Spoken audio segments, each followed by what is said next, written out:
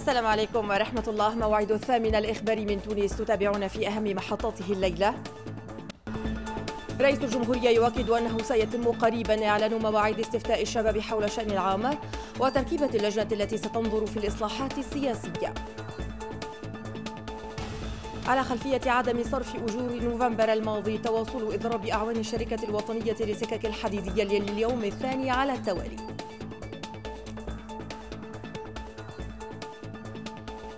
تباين الآراء بخصوص ارتفاع أسعار زيت الزيتون بين نقص الصلبة وارتفاع كلفة الإنتاج والتحويل. والأخبار تواكب جائزة ديوان الزيت لأجود منتج أهلا بكم أعزائنا المشاهدين. مواعيد استفتاء الشباب حول الشأن العام التي ستعلن قريبا وتركيبة اللجنة التي ستنظر في الإصلاحات السياسية. ومشروع مرسوم مستعجل يتعلق بالصلح الجزائي. وآخر متصل بالشركات الأهلية وغيرها. موضوع مجلس الوزراء الذي أشرف عليه اليوم رئيس الجمهورية قيس سعيد. أثناء ترأسه لاجتماع المجلس الوزراء المخصص للنظر في عدد من المراسيم ومشاريع الأوامر أكد رئيس الجمهورية قيس سعيد أنه لا مجال للعودة إلى ما قبل تاريخ الخامس والعشرين من جويليا الفارط. الرجوع إلى الوراء لا مجال له يحلم من يتصور أنه سيعود إلى الوراء. عاملناهم يقول لك الحريات معنى الحرية عندهم. هي السب والشتم والثلب والسرقة. ويلزمكم ما تكلموش.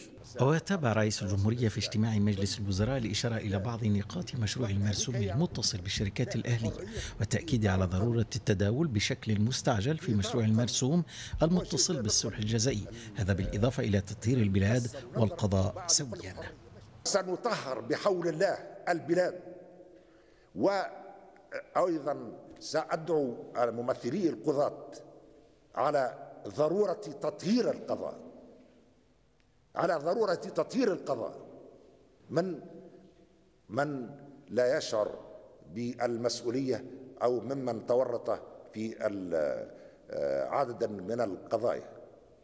كما أكد رئيس الجمهورية أيضا بأن تاريخ الثورة هو يوم السابع عشر من ديسمبر بدل الرابع عشر من جانفي وفق ما ينص عليه مشروع أمر في ذات الشأن قائلا أنه سيتم في قادم الأيام الإعلان عن المواعيد المتصلة باستفتاء فئة الشباب حول عدة مواضيع تهم الشأن العام وتركيبة اللجنة التي ستنظر في عدد من الإصلاحات السياسية وفق ما نص عليه الأمر 117 كلموا الناس كل يتكلموا هذه خيارات بتاع التنظيم قاعدي ونرفض فما الشعب يقبل ولا يرفض؟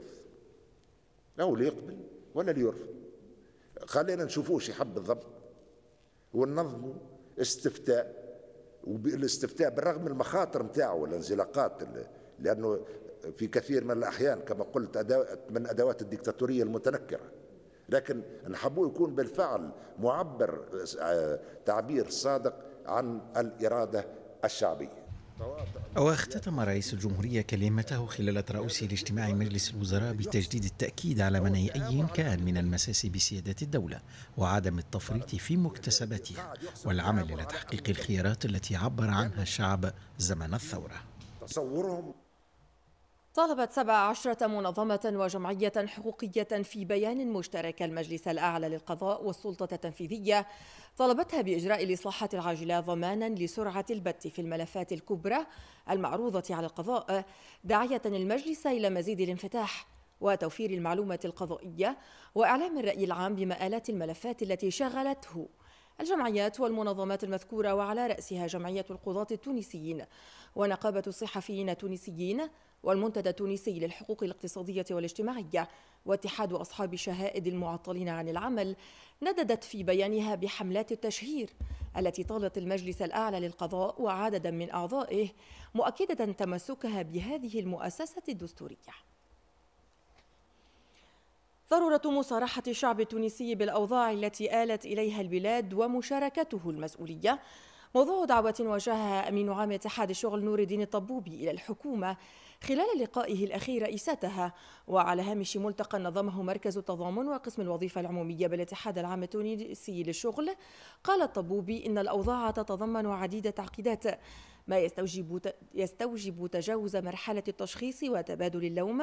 نافيا اتصال الحكومة به بشأن المفاوضات مع صندوق النقد الدولي لا عندنا اتصال ولا نعرفوا على الخطه نتاعهم ولا نعرفوا على مضامينهم وكان ثم فهمني حاجة طرحت علينا ولقيناها تناسب واعطينا فيها فهمني موقفنا رانا كي نقولوا موقفنا ونمرروه عبر مؤسسات الاتحاد نتحملوا مسؤوليتنا ما عندناش اذا كيف العاده يبنوا في مشروع وماشيين به معناها صندوق النقد الدولي ولا غيره هم أحرار وإحنا أحرار زاد باش الخيارات اللي مش تمشي. وما تناسبش الشعب التونسي وما تناسبش الطبقة العاملة وما تناسبش معناها قناعات الاتحاد العام التونسي للشغل. كل طرف سيتحمل مسؤوليته وكل طرف معناها مش يدافع على الاستحقاقات نتاعو. متواصلا لليوم الثاني على التوالي ومتسببا في تعطيل كبير لمصالح المواطنين مستعملي القطارات بأنواعها. رصدت كاميرا الأخبار تبعات إضراب أعوان الشركة الوطنية للسكك الحديدية احتجاجا ضد عدم صرف أجورهم لنوفمبر الماضي. رصدت تبعاته وأضراره في صفوف حرفاء الشركة الوطنية المرفق العمومي الذي يعيش مشاكل مزمنة وأوضاعا مالية وهيكلية متردية. أغلقت أبواب محطة تونس على غير العادة. أقفلت شبابيك التذاكر وشاشات توقيت السفرات. توقفت حركة القطارات خلت السكك الحديدية من الحركة وعاد المواطنون أدراجهم. من كان متوجها لعمله أو لقضاء شأن ما ومن كان قاصدا مقاعد الدراسة. الكل تعطلت شؤونه مع تواصل إضراب أعوان السكك الحديدية لليوم الثاني على التوالي. هم مقايفين وهلكونا نحن حتى نحن مقايفين معاه الناس الكلها تعطلت اللي ماشي يقرأ واللي ماشي يخدم واللي يعلم به ربي شنو عنده قبيات كما أنا عندي قبيات هاني قعدت. أنا هبط لزار باش نخلص الولد الليكول نتاعو.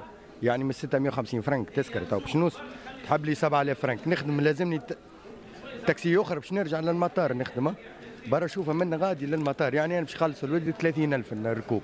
وهذاك هي تونس. اللي ما عندوش باش يركب حق تاكسي شنو يعمل؟ يقعد متيش بات هنا ذاك هو ضحيه المواطنين ضحيه باش نمشي ناخذ ترا. قال لي لا ما صابش ترا. باش نمشي نشوف نلقاش النقل هذاك. هما عندهم الحق على خاطر واحد زاد يخدم ما يخلصش. أما ديما ضريبة يدفعها المواطن وكها فهمت؟ جات في روسنا هنا من بعد نقصوا كوارت كنا عندنا كوارت معناها كل شهر نقصوا كوارت ومن بعد هنا متعذبين. مشيتش نخدم؟ مشيتش نخدم؟ رصت رطار أنا من حمام الف يعني جيت باش ناخذ تران كل شيء ما لقيتش وليت جيت في اللواج بعديك مرواح سافوار كيفاش؟ هما أصلا ما يهمهمش فيك فهمت؟ يقول لك سافوار عليه يخدم يطرد من خدمته يقرأ مريض. كاتب عام الجامعة العامة للسكك الحديدية العربي اليعقوبي قال إن هذا الإضراب يأتي إثر عدم صرف أجور العمال لشهر نوفمبر المنقضي مؤكدا تواصل الإضراب إلى حين الاستجابة لمطالبهم. عدم صرف الأجور بتاعنا وهذا سبب رئيسي ورغم اللي معناتها نحن كجامعة عامة نبهنا سلطة الأشراف وبعثنا لها مراسله من نهار 12 نوفمبر. فيها الاتفاقات العالقة وفيها وضعية المؤسسة الشركة الوطنيه للسكه الحديديه وعندنا مؤسسة أخرى هي شركة أشغال السكة زاد بلاش أجور. حبينا نشوف الوضعيات هذه. لحد الآن ما جاوبتش الوزارة. آه، رئيس مدير العام من نهار 8 أكتوبر إلى حد الساعة ما عندناش رئيس مدير العام باش نكملوا في الضرب حتى توفير المطالب نتاعنا غير أجور العون فهمت ولا لا عبارة تو بطال. إحنا تو في ديارنا ما عندناش لا خلصنا كرانا ولا خلصنا العطارة. عندنا قانون أساسي من السبعينات ومن الثمانينات. معناه ما تحينش. تأخر صرف أجور عملة وعدم قدرتهم على الاستجابة لمتطلباتهم الحياتية من جهة وتعطل مصالح المواطنين من جهة أخرى. صورتان يعكسهما إضراب أعوان الشركة الوطنية للسكك الحديدية التي قالت في بلاغ لها إنه يتم العمل حاليا على فض هذا الإشكال لاستئناف النسق العادي للنشاط متقدمة باعتذاراتها لكافة حرفائها داعية كافة أعوانها وهياكلها النقابية إلى مراعاة الظرف الصعب الذي تمر به والعمل سويا لتأمين سير المرفق العام. الوضع الوبائي في تونس مطمئن بفضل الجهود الكبيرة التي تم بذلها من أجل تلقيح التونسيين ضد كورونا. وتونس تتابع الوضع الوبائي في العالم مع تزايد أعداد المصابين بالفيروس وظهور المتحور الجديد أوميكرون. بعدة دول. هذا ما صرح به وزير الصحة علي مرابط إثر اجتماع مجلس الوزراء بقصر قرطاج اليوم مؤكدا أن تونس شرعت في اتخاذ عديد التدابير لضمان نجاعة التعامل مع الوضع الوبائي العالمي. أمام الوضع القلق في العالم والمتحول الجديد لكن زمنا نحضروا رواحنا وبدينا نحضروا في رواحنا. من ذلك الإجراءات الوقائية على الحدود الوافدين إضافة إلى ذلك باش نكثفوا séquençage خاطر ال séquençage هو الوحيد اللي يوري المتحورات والتحضير سيتم في مسائل الكوفيد في المستشفيات آه، بالمستشفيات الميدانية آه، بالاستعداد الجيد والأكسجين. علاش؟ خاطر نستقاو العبر ولا الإخلالات اللي صاروا قبل. وإلا التجارب العالمية في المجال. اليابان ستواصل دعم تونس في جميع المجالات كما أكده سفير البلد الصديق بتونس شينسوكي شيميزو الذي صرح أن استثمارات الشركات اليابانية قفزت إلى المرتبة الثالثة في تونس في وقت تستعد فيه بلادنا لاحتضان مؤتمر طوكيو الدولي للتنمية في إفريقيا تيكاد ثمانية. رئيسة الحكومة نجلاء بودن رمضان نوهت في لقائها أمس السفيرة اليابانية نوهت بدعم طوكيو تونس. وفي لقاء جمعها بسفير البحرين بتونس إبراهيم محمود أحمد عبد الله عبرت رئيسة الحكومة عن ضرورة الإسراع بإنجاز بقية مراحل مرفأ تونس المالية الواقع بمنطقة رواد مشددة على متانة الروابط الأخوية بين البلدين وعلى رغبة تونس في مزيد تطويرها. ليؤكد السفير البحريني تطلع بلاده لعقد أشغال اللجنة العليا المشتركة التونسية البحرينية بالمنامة توسيعا لمجالات التعاون. استعدادات المعهد العربي لرؤساء المؤسسات وشركائه لتنظيم الدورة الخامسة والثلاثين من أيام المؤسسة بمدينة سوسة وبرنامجها. موضوع لقاء آخر جمع رئيسة الحكومة نجلاء بودن رئيس المعهد الطيب البياحي لتثمن رئيسة الحكومة دور المؤسسات الاقتصادية الكبير في خلق مواطن الشغل وخلق الثروة.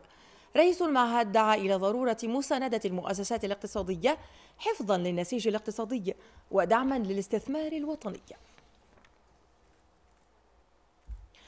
دليل الإفصاح غير المالي للشركات المدرجة بالبورصة وثيقة تفعل الحوكمة إذ تلزم المؤسسات المعنية بنشر نتائج أنشطتها على البيئة والمحيط الاجتماعي. إصدار اختياري لاعتماد نشرته بورصة تونس للأوراق المالية وهيئة السوق المالية وساهم البنك الدولي فنيا في إعداده. لتكريس مبدأ التنمية المستدامة لدى جميع المؤسسات وجعله قاعدة أساسية لتنمية أرقام معاملاتها. تم في خطوة أولى إصدار دليل خاص بالمؤسسات المدرجة بالبورصة يمكنها من انتهاج سياسة الحوكمة ويخول لها الإفصاح عن نتائج أنشطتها ذات الانعكاسات البيئية والاجتماعية. ذلك ما أعلنه مدير عام بورصة تونس بلال سحنون خلال ملتقى تقديم دليل الإفصاح غير المالي للمؤسسات المدرجة بالبورصة. الساعة الجديد هذايا مش يمكننا اليوم باش الشركات اللي باش تنخرط فيه اولا باش تتبع المعايير الدولية في من ناحية التنمية المستدامة ثانيا باش يمكن المقارنة بيناتهم وثالثا لتقييم مدى نجاحة توخي السياسات هذه نتاع التنمية المستدامة في آه، عملياتهم في نتائجهم وفي في آه، تحسين الحوكمه نتاعهم هذا الدليل الذي شارك في أعداده كل من بورصة تونس وهيئة السوق المالية بالتعاون مع البنك الدولي أعطى حرية الاختيار للمؤسسات المدرجة بالبورصة لتظل عملية الانخراط فيه اختيارية وليست إجبارية رغم ما يعود به من فائدة على المؤسسة والمحيط. باش يشجع المؤسسات على أنها آه، تهتم بمحيطها. تهتم محيطها الاقتصادي تهتم محيطها الاجتماعي تهتم محيطها البيئي وتنشر معلومات وحنا نتابعه. ونعتقد آه، أن المؤسسات نتاعنا عندها مسؤوليات مجتمعية تكون خلاقة للثروة خلاقة للنشاط المؤسسات وأيضا معناها خلاقة لمواطن الشغل. بنرحب آه، رحب كبير بهال guide اللي آه، اليوم أعلنوا عنه لأنه بيمثل آه، قرارات كتير مهمة بحياة المؤسسات الخاصة اللي بدونها نحن ال IFC ما بننظر لأي استثمار في أي شركة خاصة إذا مش عم يتبعوا هودي الجيد. هو راهو توا الشركات اللي déjà تصدر لابد أن تكون عندها استراتيجية في المسؤولية المجتمعية. علاش؟ خاطر déjà المارشيات البرة والحرفاء البرة طالبين من الشركات هذم باش يعطيوا ال preuve اللي هما في يكون عندهم سياسة بيئية وعندهم سياسة اجتماعية. وقد تم إعداد هذا الدليل بناء على دراسة قامت بها السوق المالية منذ سنة الفارطة وشملت 42 مؤسسة مدرجة بالبورصة. إحنا قبل ما نقترحوا دليل آه، قلنا أول حاجة صرنا نعملوها هو نعرفوا نبض الشركات اليوم، إحنا فين اليوم آه، بالنسبة للمسؤولية المجتمعية. كيفاش اليوم الشركات شنو ما إنجازاتهم في المجال هذا؟ نلقاو العديد من المؤسسات عندهم برامج لكن ما فماش قاسم مشترك ما فماش حاجة اللي هي تقارن بعضهم وكل واحد معنا فما عمليات وقعت بصفة انفرادية وما فماش حاجة اللي جمعها من الناس الكل إحنا الأمل نتاعنا أنه الدليل هذايا مش يخلي الناس الكل تنخرط في نفس المنظومة بنفس المعايير وإن شاء الله بعد هذايا نوصلوا نهار نعملوا مؤشر للتنمية المستدامة في بورصة تونس. ويأمل ممثلو السوق المالية أن تنخرط جميع المؤسسات المدرجة بالبورصة في هذه المنظومة التي تمكنهم من تكريس مبدأ المسؤولية المجتمعية ضمن معاملاتهم اليومية. بإشراف من وزارة الصناعة والمناجم والطاقة نظمت وحدة تصرف في البرنامج الوطني للنهوض بالجودة والإنتاجية صباح اليوم. يوما وطنيا في الإنتاجية حضره ممثلون عن الوكالة اليابانية للتعاون الدولي وسفير اليابان بتونس. إذ تم تقديم نتائج تطبيق مقاربة يابانية في أكثر من 100 مؤسسة صناعية تونسية على امتداد سنوات هي السنوات الخمس الماضية وهي مقاربة في مجال تحسين الإنتاجية في القطاع الصناعي. يتصدر المنتجون اليابانيون العالم في مختلف المجالات ما يساعد البلاد على احتلال المركز الرابع في الترتيب العالمي من حيث الناتج المحلي الإجمالي وهذا يعود إلى استراتيجية الإدارة الصحيحة. ففي اللغة اليابانية توجد كلمة كايزن وهي تعني التحسين المستمر وتستعمل في مقاربة تهدف إلى تنظيم الإنتاج داخل المؤسسات وإقامة التفاعل بين العمال لضمان النجاح. مقاربة كايزان تبنتها وحدة التصرف في البرنامج الوطني للنهوض بالجودة والإنتاجية في مجال تحسين الإنتاجية في القطاع الصناعي عبر تطبيقها في مؤسسات تونسية مختصة في الكيمياء والنسيج والصناعات الميكانيكية والكهربائية. معدل نسبة تحسين الإنتاجية بلغ 57% على مستوى معناها المشاريع اللي تحطت في المؤسسات.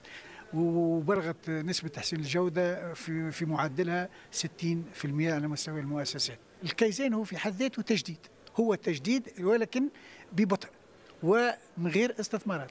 الابروش كايزين ما تخصش كان القطاع الصناعي برك التمشي هذا ينجم يكون ينفتح على جميع القطاعات. قطاع على غير قطاع الصحة قطاع التعليم العالي كيف كيف. هذه طريقة تنجم تكون عندها فائدة وجدوى لكل القطاعات اللي هي فاعلة في الشأن الاقتصادي أكثر من 100 مؤسسة صناعية تونسية طبقت مقاربة كايزان ليقدم عدد منها نتائج التجربة في الندوة التي شهدت الإعلان عن نتائج مسابقة كايزان على الصعيدين الوطني والإفريقي بإحراز الشركات التونسية على جائزتين من أصل ثلاث مقدمة الإسبري كايزان شنو هو؟ هي فلسفة وهو مايند سيت هي عقلية يلزم يتحلى بها آه، من الديريكتور جينيرال الآخر خدام في وسط في وسط الماء. حددنا دي زوبجيكتيف مع بعضنا وصلنا لهم زاد مع بعضنا جراس أو زيفور تاع توت ليكيب إحنا وصلنا للريزولتا باهي في 2018 و2019 و2020 أول حاجة بديناها سي نشوفوا البروسيسوس دو ا زيد معناتها شنو اللي فما العراقيل اللي فما من بعد خدمنا على 5 اس 5 اس باش ننظموا معناتها لي كولوار بتاعنا باش ننظموا لونتربريز اليوم يبان في لونتربريز وصلنا. عملنا ان سويفي اون طون ريال aussi bien au niveau de la qualité qu'au niveau de la productivité. تصور مثلا المؤسسات هذه لو كان جات تخدم في مناخ أكثر استقرار. تصور أنت بلاد كاملة نحطوا في مخاخنا اللي لازمنا نخدموا أكثر. شنو نجم يقع مستقبل البلاد.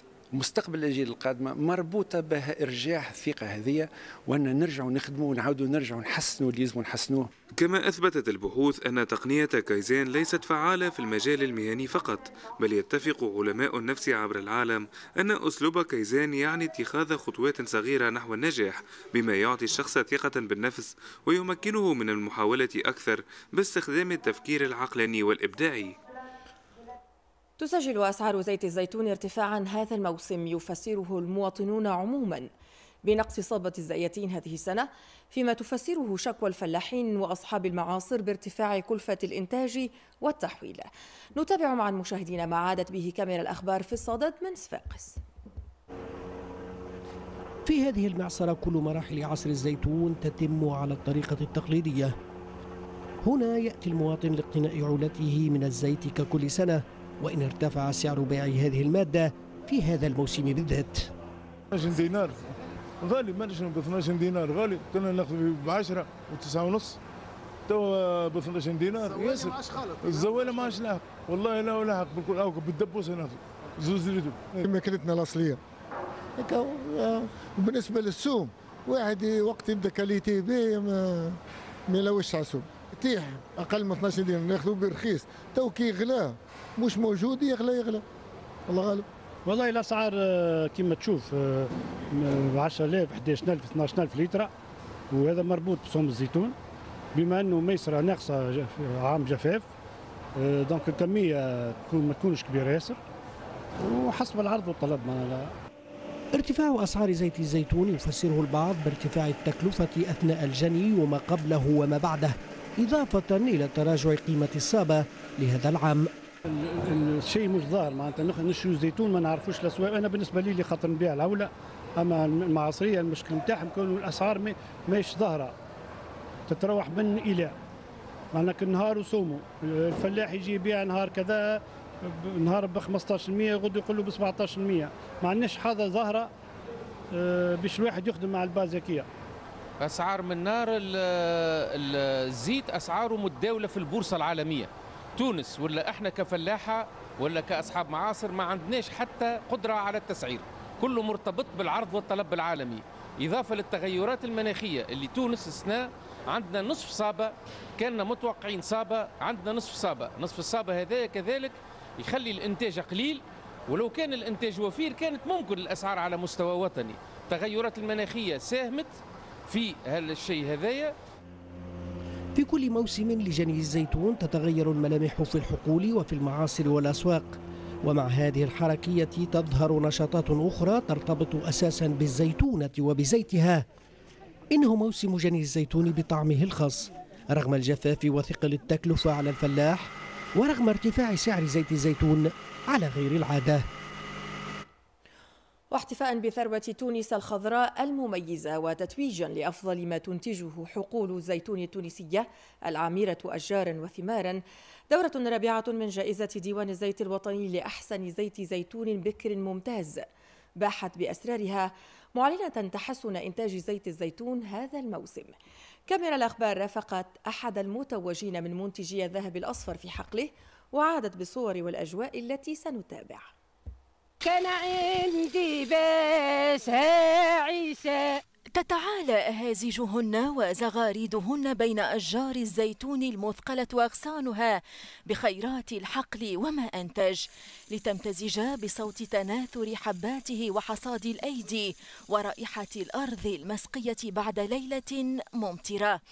عطر الأرض هو وعطر زيتونها فتحت كل زيتونة فرشت أقمشة خاصة ونصبت سلالم لجمع حبات الزيتون ونقل المنتوج إلى المعصرة مباشرة. ومن ثمة الحصول على زيت زيتون بكر ممتاز. الثانية هذه آه، خذيناها تربة بيضاء. آه، عام 2008 الجودة تبدأ من آه، حسن اختيار التربة. دونك تحليل التربة هو اللي أعطانا معنا فرض روحه باش نغرسوا الزيتون هنا. ثم اختيار معنا الشتلات والأنواع نتاع الأصناف اللي غرسناها كما نقولوا البعلي نتاع صفاقس اللي يقولوا 20 متر بين شجره وشجره هذا 6 على 6 كيفاش نسقيو؟ كيفاش نعملوا كيفاش ثم اختيار انه ننتجوا معنا زيت بيولوجي كيفاش نصبروا كيفاش نتبعوا الزيتونة نتاعنا كيفاش على الأمراض؟ أسرار زيت ذي جودة عالية. مكنت منتجه بشير جراية من التتويج من قبل المجلس الدولي للزيت بالجائزة الذهبية في إسبانيا والجائزة الفضية للديوان الوطني للزيت لأحسن زيت زيتون بكر ممتاز. المعصرة هذه تسمى chaîne continue deux phases شو معناها deux phases؟ معناها تعطينا منتوج نوعين من المنتوج تعطينا الزيت وتعطينا الفيتورة على شكل عجينة ما تعطينيش مرجين. نعصروا نتاع المنتوج النهار نعصروا في نهارته ما نبيتوهش. علاه هذا باش من نحافظوا على الجوده الزيت نتاعي اللي ربح هذا والحلو معناها. والنكهه نتاعو معناها هو فيه مجموعة من الغلال. مذاق وجودة عالية مكنت هذا المنتوج من التتويج إلى جانب 21 منتجا آخر من زيت الزيتون من مختلف ولايات الجمهورية في إطار جائزة الديوان الوطني للزيت والتي تهدف إلى تشجيع المنتجين ومزيد التعريف بهم والترويج لمنتوجهم. الجوائز هذه هي حافز كبير معناها لتشجيع كل المنتجين والمحاولين والفاعلين في القطاع لتحسين الجودة وتكون هي القاطرة باش نجموا نثمنوا ونبيعوا أكثر ما يمكن بالأسعار كبيرة معناها بالنسبة لهذا. وهذه هي الاستراتيجية اللي تخدم عليها وزارة الفلاحة حاليا. سيتزدون 240 ألف طن.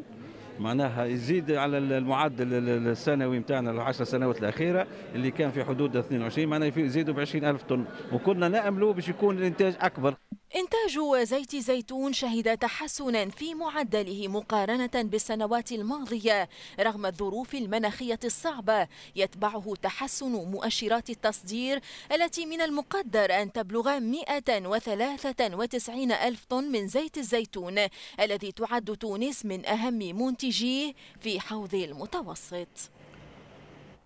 الأوامر الترتيبية التي تفعل قانون الاقتصاد التضامني الاجتماعي والتي تضمن آليات تفتح أبواب المبادرة الخاصة أمام ذوي الإعاقة وضعت وتم إرسالها إلى رئاسة الحكومة. كما صرح به اليوم رئيس ديوان وزير التشغيل والتكوين المهني خلال ملتقى نظمه مركز التضامن وقسم الوظيفة العمومية بالاتحاد العام التونسي للشغل. من مجموع 276 ألف شخص حامل لبطاقة إعاقة تبلغ نسبة تشغيلهم 8% فقط. نسبة اعتبرها رئيس المنظمة التونسية للدفاع عن حقوق الأشخاص ذوي الإعاقة ضئيلة جدا. وهناك تهميش في تطبيق القوانين والمراسيم اللي تمس الأشخاص ذوي الإعاقة. الفئة هذه ما حبش تتغير النظرة متاع الحكومة متاع الموجودة حاليا ولا حتى اللي قبلها. أن الفئة هذه هي فئة هشة غير قادرة فئة معناها من المنظور الاجتماعي والصحي وقت اللي هي فئة عندها حق في التربية في التعليم في التشغيل. التشريعات والاتفاقيات الدولية المصادق عليها ظلت حبرا على ورق وفق الأمين العام للاتحاد العام التونسي للشغل الذي أكد أن المشكل الأساسي بات يكمن في أزمة الثقة بين المجتمع السياسي والمدني والأشخاص ذوي الإعاقة. قلنا خلينا نمروا لحاجة أخرى فهمني؟ آه تكون آه نبادروا بها كاتحاد العام التونسي للشغل ونبدو بالمنظمات الوطنية بالمؤسسات الكبرى في القطاع الخاص. كيفاش تدمج معناها على الأقل في بعض الانتدابات خل تشوف الناس على الأقل حاجة نتاع أمل معناها تشوف بصيص من الأمل معناها تقدم به. هذاك اللي باش تبني به معناها الثقة على الأقل مع هذه الفئة. إصدار إطار ترتيبي لتنظير الشهائد التكوينية للأشخاص ذوي الإعاقة طبقا لقانون التكوين المهني مما يسهل إدماجهم بسوق الشغل من الإجراءات المزمع تطبيقها وفق رئيس ديوان وزير التشغيل والتكوين المهني الذي أعلن عن اعتماد مقاربة جديدة. نشاركوا قدر الإمكان المجتمع المدني اللي هو أقرب منا للفئات هذه الأشخاص ذوي الإعاقة واللي نحن نحولوا له الاعتمادات اللازمة ونرصدوا له الاعتمادات اللازمة باش هو يقوم بالعمل هذايا ونحولوا الدور متاعنا نحن من دور مباشر إلى دور راقبه ودور مساندة. جمعيات عندها سهولة في التصرف في الأموال أيسر منا والتشريع يمنحها عديد المرونة سواء في التصرف الإداري أو المالي. مركز التضامن من جهته أطلق حملة مناصرة من أجل إدماج الأشخاص ذوي الإعاقة في التكوين والتشغيل عقب إجراء دراسة ميدانية لواقع هذه الفئة. من خلال هذه دراسة كان فيه العديد من التوصيات من أهم التوصيات هذه هي مناصرة الأشخاص ذوي الإعاقة في عالم العمل لأنه نشوف أن النسبة اللي موجودة هي تمثل 1% على مستوى التطبيق حتى الواحد في المياه مش موجود. يذكر أن وزارة الشؤون الاجتماعية قد طورت الاعتمادات المرصودة للبرنامج الوطني لبعث موارد رزق لفائدة الأشخاص ذوي الإعاقة القادرين على العمل لتصل خلال السنة الجارية إلى حوالي 4.5 مليون دينار خصصت لتمويل قرابة 800 مشروع. الإنصات والمساندة والإنقاذ خطوة حيوية على طريق تحقيق تحقيق مكافحة العنف الذي تتعرض له النساء وهي خطوات اتخذت منها الجهات المعنية شعارا لحملة الستة عشر يوما الأممية التي تنخرط فيها تونس. مواجهة للعنف ضد التونسيات 78% من المبلغ عنه منه عنف زوجي. كاميرا الأخبار رافقت بعض النساء المعنفات وعادت تحكي لكم مشاهدين حكاياتهن لنشاركهن أمل الخروج من محنة التعنيف. سكر علي الباب ستة شهور يضرب فيا يهين فيا. الرجل مش اللي عرفته. هكذا تحدثت هذه المرأة عن تجربتها المريرة مع العنف الزوجي. مرحلة صعبة تمكنت من تجاوزها بعد تلقيها الإحاطة النفسية والدعم الاجتماعي بمركز الإيواء والإصغاء بالاتحاد الوطني للمرأة التونسية. عملت لي ملف اجتماعي وسمعوني. عملت لي استشارة قانونية وفهمتني في القانون 58 والاتحاد اللي بالحق كانوا لي سند لحياتي ولولدي اللي أنا رجعت نخدم توا الحمد لله. حسيلو من عملت عملي. مرض الدين عندي في صالح عزيز تبدل عليه تبدل عليه فرد المرض فك لي الكارني فك لي آه، الوحدة اللي ناخذ فيها بالدواء. ولا نبات نبكي والله. والاتحاد باهي زاد عملوا لي آه، قضية للنفقة. شهادات لضحايا العنف كسرنا بها حاجز الصمت وشاركنا في يوم إعلامي مفتوح تحت شعار ننصت نساند وننقذ وذلك في إطار الحملة الأممية لستة عشر يوم لمناهضة العنف ضد المرأة. إلى حد آه، نوفمبر 2021 استقبلنا حوالي 496 آه، وضعية آه، تتوزع بين حالات اجتماعية وضحايا عنف فما ما استوجب الإنصات والإحاطة على جميع المستويات الاجتماعية والدعم النفسي والإرشاد القانوني. وفما حالات استوجبت الإقامة والإيواء بمركزنا. ونوفوا لها زاد المرافقة. إلى جميع الهياكل المعنية بالتدخل كما الفرقة المختصة في العنف كما المستشفيات العمومية كما مثلا مندوب حماية الطفولة. كما يوفر المركز خدمات تتعلق بالتمكين الاقتصادي لضحايا العنف عبر آليات متعددة. نعملها تمكين اقتصادي إما عبر تكوين مهني مجاني باحدى مراكز التكوين المهني. والا هي عندها ديجا شهادة في التكوين المهني في اختصاص ما نسندوا لها نعملوا لها قرض صغير باش تعمل مشروع صغير باش تقف على ساقيها وتوفر لروحها الاستقلالية المالية اللي باش تخليها تواجه الشيء هذا. اليوم المفتوح مثل فرصة للبحث والنقاش حول قانون 58 المتعلق بالقضاء على العنف ضد المرأة وصعوبة تطبيقه. اللي لاحظنا أنه المحاكم التونسية متضاربة مختلفة فيما يتعلق بتطبيق إجراء الحماية آه إلى جانب مسألة الإعانة العدلية إلى جانب مسألة أنه القضاء معناها في القضايا العنف هو مجاني الحقيقة لا آه مازال المرأة مطالبة بأنها تخلص المحضر عد التنفيذ بأنها تخلص الشهادة الطبية. صعوبة على مستوى الإجراءات تتمثل أيضا في طول إجراءات الفصل في قضايا آه، الحماية. ويظل التقليص من ظاهرة العنف المسلط على المرأة رهين تنفيذ تشريعات وقوانين تتطلب ميزانية كافية لتحقق النجاح المرجوة.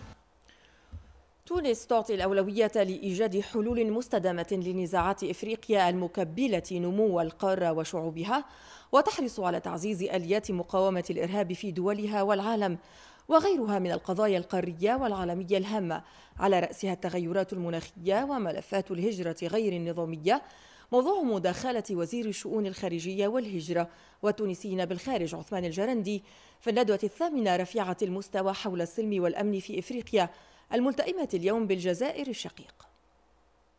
في كلمة ألقاها خلال انطلاق أشغال الندوة الثامنة رفيعة المستوى حول السلم والأمن في إفريقيا المنعقدة اليوم بالجزائر أكد وزير الشؤون الخارجية والهجرة والتونسيين بالخارج عثمان الجرندي أن السياق الحالي سواء على المستوى المحلي أو الدولي والمحمل بتحديات كبرى ومشتركة يدفع إلى مزيد تعزيز التشاور والتنسيق ودعم التعاون المشترك من أجل معالجة مسائل السلم والأمن في المنطقة الإفريقية.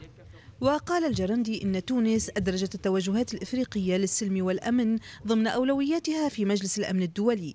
وبمعاضدة نظرائها الإفريقيين ستعمل على إيجاد الحلول السلمية للنزاعات التي تستنزف مقدرات المنطقة الإفريقية وتحول دون تحقيق التنمية المستدامة لشعوبها.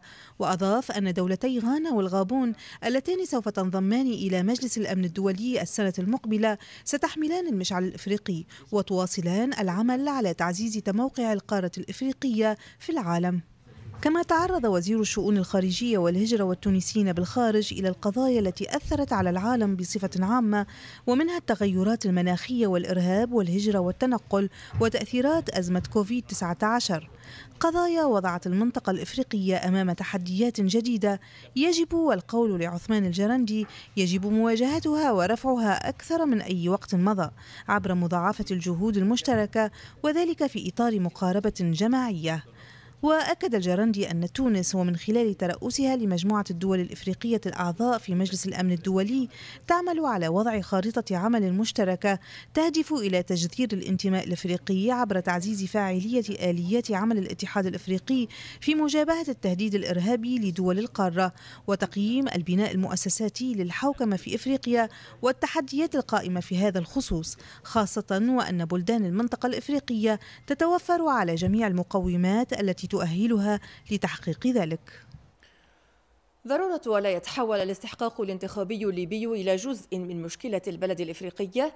أهم ما شدد عليه أمين عام المنظمة الأممية أنطونيو غوتيريش اليوم وسط تساؤلات وقلق يترددان بين أروقة الهيكل الأممي بخصوص نزاهة الانتخابات الرئاسية الليبية المرتقبة وتعقيداتها. تستمر عمليات رئيس حكومة الوحدة الوطنية الليبية المؤقتة عبد الحميد دبيبة لسباق الرئاسة بعد رفض الطعون المقدمة ضد ترشحه. وحسب مصادر إعلامية فالطعون قدم فتحي بشاغ المرشح المنافس وعدد من الشخصيات الأخرى بدعوى أن دبيبة لم يتقدم بما يفيد توقفه عن العمل قبل ثلاثة أشهر من تاريخ الانتخابات. التقدم في المسار الانتخابي تقرأه الأمم المتحدة مرادفا لارتفاع منسوب المخاوف من سيادة الخلافات بين المعسكرات المتنافسة. إذ طرحت الأمم المتحدة تساؤلات حول نزاهة هذه الانتخابات مع تشديد الأمين العام للمنظمة الدولية أنطونيو غوتيريش على وجوب أن لا تكون جزءا من المشكلة. وأضاف خلال مؤتمر صحفي أنه بناء على ما توفر ستبذل قصارى الجهود لتسهيل إجراء حوار يتيح حل المسائل المتبقية التي يمكن أن تقسم ليبيا. وبدأ سفير النيجر لدى الأمم المتحدة الذي تتولى بلاده الرئاسة الدورية لمجلس الأمن الدولي. بدأ أكثر تشاؤما حيال سير الانتخابات المقبلة فوفق تقديره فشروط إجراء انتخابات حرة وذات مصداقية وديمقراطية وتوافقية لم تتحقق بعد. وهذا استنادا إلى معطيات ميدانية تفيد بأن المقاتلين الأجانب لا يزالون في ليبيا وخط التماس لا يزال في مكانه ولا دلائل تذكر بشأن إعادة توحيد حقيقي للقوات العسكرية الليبية. وتمثل هذه الانتخابات أكبر تحد حتى الآن لمبادرة السلام المدعومة من الأمم المتحدة وللليبيين أنفسهم. بأغلبية واضحة صوت أعضاء الجمعية العامة للأمم المتحدة لقرارين لفائدة القضية الفلسطينية. يتعلق أولهما بمدينة القدس ويؤكد أن أي إجراءات تتخذ لتغيير طابع المدينة لاغية وباطلة. ويجب إيقافها. وأن أي حل دائم للمدينة يجب أن يراعي حقوق الطرفين ويثبت تحقيق تسوية عادلة وشميلة لقضية فلسطين وإحلال سلام واستقرار شاملين في الشرق الأوسط. ويتمحور ثانيهما حول الحث على وقف التحريض خاصة في المواقع ذات الحساسية الدينية مع ضرورة الحفاظ على وضع المدينة التاريخي والقانوني القائم. في أخبار الرياضة توج العداء النرويجي البطل الأولمبي في سباق الأربعمائة متر حواجز كارستين وولهولم توج بجائزة أفضل عداء في العالم العام الحالي.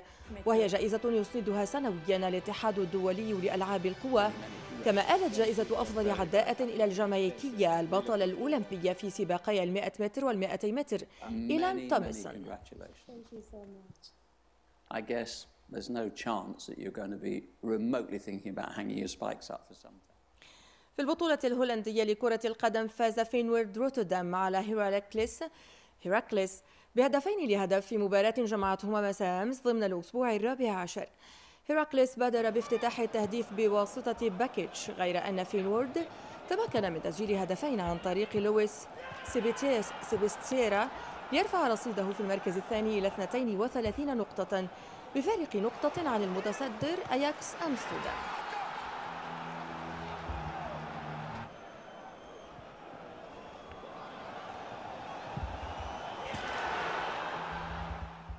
قاد نوفاك جوكوفيتش منتخب بلاده صربيا إلى التأهل لنصف نهائي مسابقة كأس ديفيس لتنس المنتخبات إثر انتصاره على الكازاخستاني ألكسندر بوبلاك بمجموعتين دون رد في مسابقة الفردية.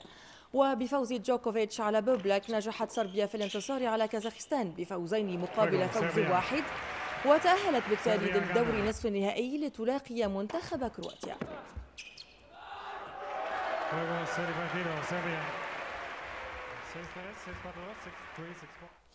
وقد وردنا الآن مشاهدينا أن حركة السير تستأنف غدا بشكل عادي على جميع خطوط الشركة التونسية للسكك الحديدية بعد التوصل إلى اتفاق في جلسة تفاوض مساء اليوم بين الوفدين النقابي والإداري بإشراف وزير النقل ربيع المجيدي وينص الاتفاق حسب ما أفادنا به هاتفيا العربي اليعقوبي كاتب عام الجامعة العامة للسكك الحديدية. إذا يت...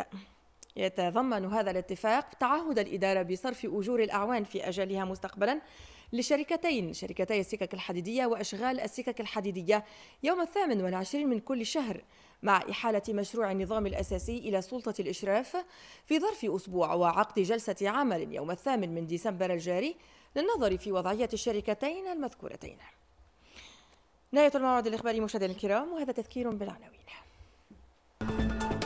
رئيس الجمهورية يؤكد أنه سيتم قريبا إعلان مواعيد استفتاء الشباب حول الشأن العام وتركيبة اللجنة التي ستنظر في الإصلاحات السياسية. استئناف حركة سير السكك الحديدية غدا بشكل طبيعي بعد التوصل إلى اتفاق بين الطرفين الإداري والنقابي في جلسة تفاوض حول صرف الأجور في أجلها. تباين الآراء بخصوص ارتفاع أسعار زيت الزيتون بين نقص الصابة وارتفاع كلفة الإنتاج والتحويل. والأخبار تواكب جائزة ديوان الزيت لأجود منتج.